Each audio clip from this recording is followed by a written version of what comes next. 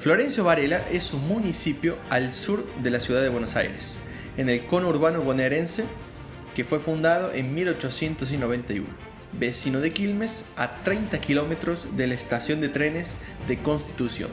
Para quienes no conocen, la estación queda muy cerca al famoso y pintoresco Puerto Madero y es un punto central en la conexión de toda la metrópolis de Capital Federal y el Gran Buenos Aires.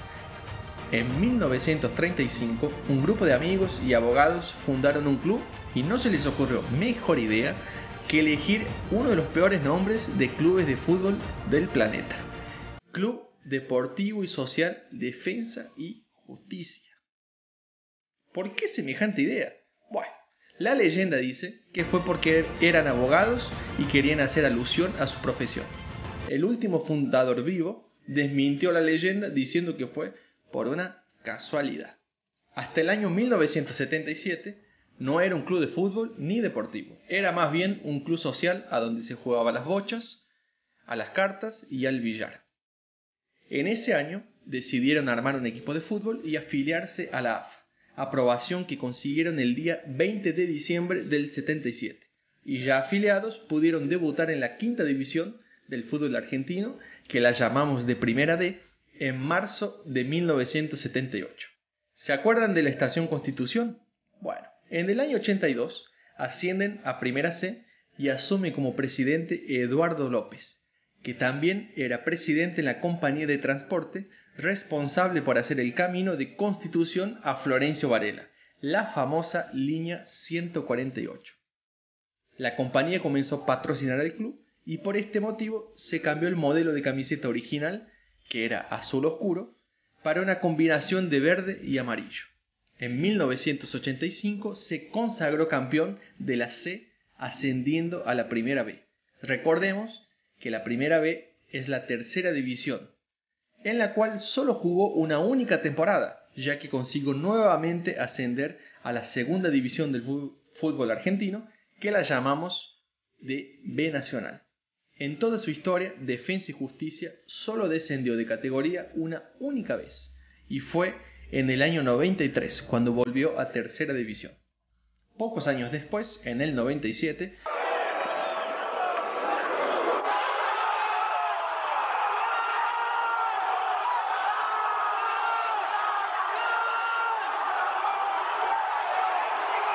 volvió a subir al Nacional B, división en la que se asentó y permaneció durante 17 años hasta ascender a la primera división en 2014 de la mano del técnico Diego Camacho, centro de Camacho para Guerra. Viene Guerra. Brian, sí, Brian.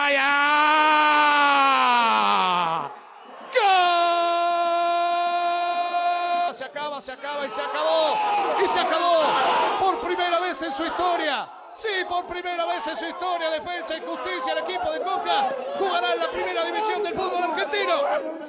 Defensa y Justicia, popularmente conocido como el Halcón de Varela, tuvo su noche épica en 2006, cuando jugó la promoción para evitar descender nuevamente a la tercera división contra Deportivo Morón. En el partido de ida terminó 1 a 1 y bastaba empatar para seguir en el Nacional B. centro al área.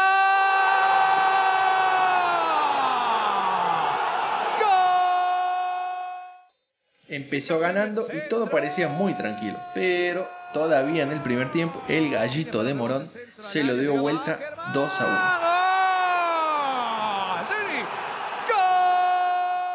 1. Necesitando empatar el partido, el arquero, sin ningún tipo de defensa, se comió el 1-3 y el partido parecía liquidado.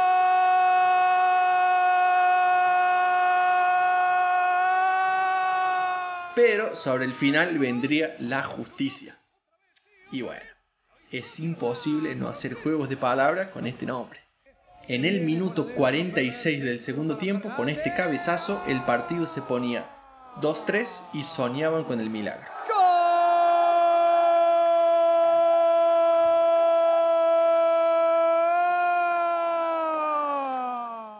En el minuto 49 llega el Miralles, digo el milagro, hecho por Ezequiel Miralles. ¡Qué tiro libre! ¡Uy, qué tiro libre! ¡Uy, qué tiro libre! Si usted tiene problemas de salud, si es fácilmente impresionable, no mire esta jugada. Con este espectacular tiro libre empató el partido 3 a 3 y Defensa defendió su lugar en el Nacional. Miralles.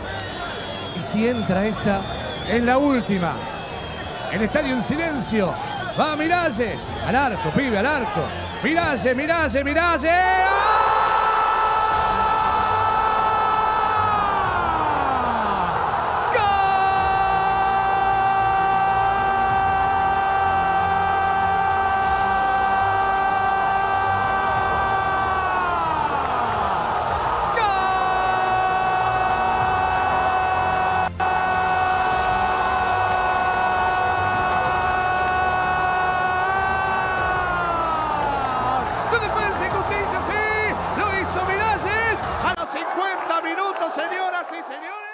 En sus años en primera división, el Halcón de Varela se destacó por conseguir muy buenos resultados, pero principalmente por jugar muy bien al fútbol.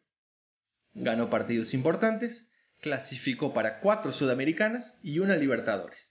En el año 2017 eliminó nada más y nada menos que al San Pablo en su propio estadio, el Morumbi, en Brasil.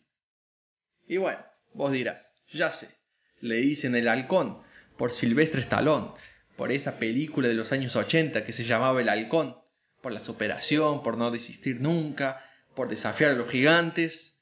Mm, no, era por el Bondi. Sí, la empresa que patrocinó a Defensa y hizo cambiar los colores de la camiseta para verde y amarillo, sí, la del Bondi, la de la línea 148, se llamaba El Halcón SA. Y bueno, sin el glamour de Hollywood, pasó a ser conocido como el Halcón de Varela por causa del Bondi. Pero los de Varela, con valentía y buen fútbol, después de seis años en primera, consiguiendo grandes resultados, llegó su primer título y es internacional.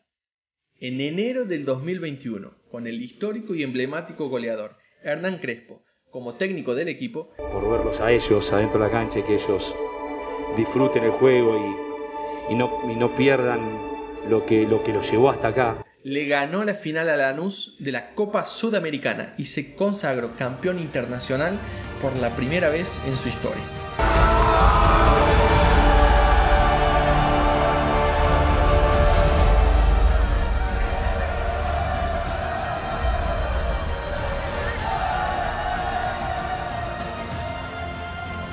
Pero no terminó ahí, esto es solo el comienzo. Tres meses después, el 14 de abril, le ganó la Recopa Sudamericana a uno de los poderosos equipos del continente, al Palmeiras, campeón de la Libertadores 2020, que le había ganado nada menos y nada más que al Santos de Pele. En tierras brasileñas y con Sebastián Becasese como técnico, el Halcón, con coraje, con superación y buen fútbol, derribó a un gigante brasileño. Sí, Puede ser que su apodo no sea por Silvestre Stallone y el glamour de Hollywood, pero desde la humilde localidad de Varela y para el mundo surgió un halcón que va por más.